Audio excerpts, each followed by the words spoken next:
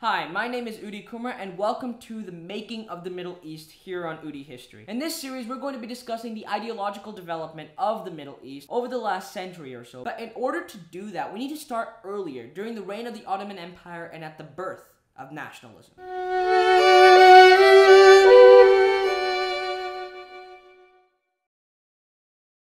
Ottoman Empire was founded in 1299 CE, but really the most important date to remember with regards to the Ottoman Empire is 1453, because that's the year in which it conquered Constantinople and established it as its capital. This is significant because this event essentially intensified interactions between the Middle East and Europe when a Middle Eastern empire conquered a European city and started expanding into Europe. According to historian Philip Robins, quote, the Ottoman Empire was a multi-ethnic, multicultural organization for which the Islamic religion was, especially towards its end, its ideological cement. Religion created solidarities between Turks, and Kurds and Arabs. In other words, pan-Islam was this idea where Islam united the many diverse groups of the Middle East that we discussed in the preview episode of this series. And it was the dominant ideology in the Middle East for centuries. From then on, the Ottoman Empire began to expand continuously into the Middle East, North Africa, and most significantly, Europe. However, the Ottomans were soon rebuffed at Vienna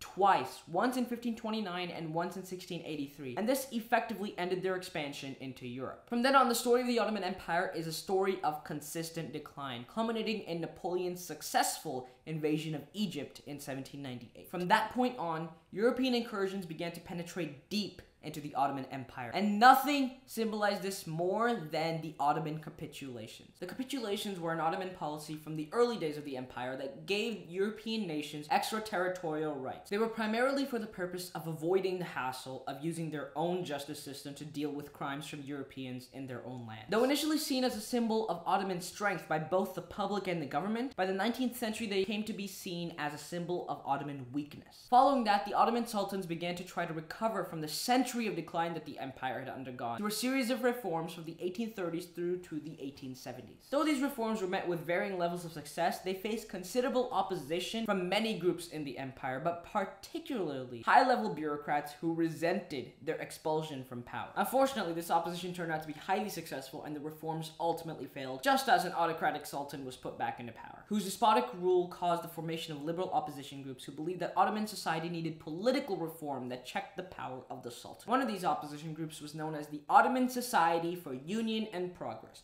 better known as the Young Turks, who began to advocate for Turkish nationalism. According to historian Philip Robins, who we mentioned earlier in this episode, Quote, the Young Turks concluded the empire was in decline because the Ottomans had not absorbed the ideas and identity of Europe's ideology of the moment, ethno-nationalism. But Turkish nationalism was different from European nationalism in that it wasn't a mass-based ideology. Instead, it was associated with a small number of urban centers and particularly with the rising elite, like army officers. It came to prominence primarily because Turkish nationalists seized control of the Ottoman government in a 1908 coup and deposed the Sultan, rendering his successors only as nominal heads of state. In other words, Turkish nationalism came to prominence because it became the ideology of state. As Turkish nationalism faced a surge in importance and the Islamic solidarity movement began to decline and lose its credibility, it was only a matter of time before ethno-nationalism took hold for other ethnic groups in the empire. For the Arabs of the empire, this happened around the turn of the century. At the same time, Turkish nationalism was becoming one of the most prominent ideologies of the state. However, Arab nationalism would not be associated with more than a handful of intellectuals until well after World War II. Turkish nationalism would go on to be victorious against the Europeans very quickly through a war of independence lasting four years that ended with the establishment of Turkey in 1923. Turkish nationalism kind of fades from regional importance from this point. However, it's important to remember that its main impact on the core ideological struggle of the Middle East throughout the 20th century is that it caused the emergence of Arab nationalism. But we can't end the episode just yet because there is one more nationalist movement we have yet to cover.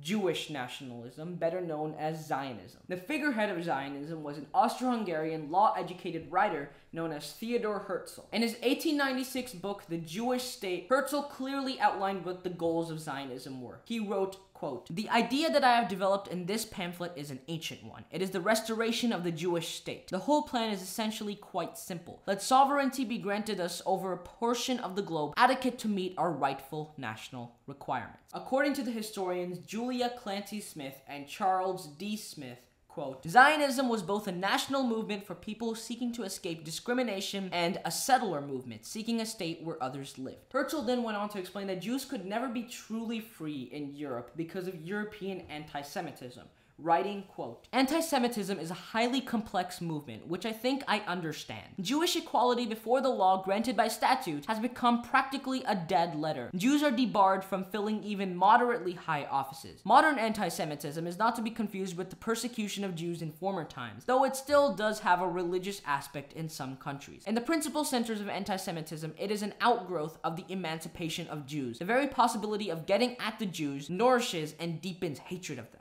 Thus was the birth of Zionism. And that's it for this episode of The Making of the Middle East. In the next episode, we're going to be discussing some of the conflicting promises that the British made to the Arabs, the Jews, and themselves, and how this kinda did not go so well. But for now, thank you for watching. Now go out there and make history.